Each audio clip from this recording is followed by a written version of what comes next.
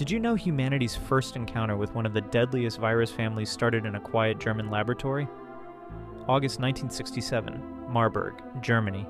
Workers at the Behring Pharmaceutical Facility were handling African green monkeys imported for polio vaccine research.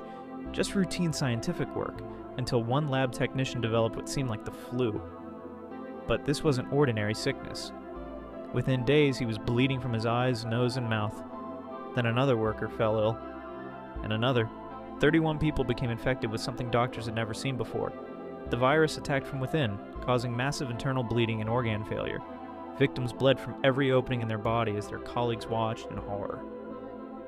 Seven people died, a 23% mortality rate. Scientists discovered they were facing humanity's first filovirus, a family that would later include Ebola. This outbreak created the modern biosafety protocols we use today, one shipment of monkeys changed how we handle deadly pathogens forever. Subscribe and follow for more chilling facts.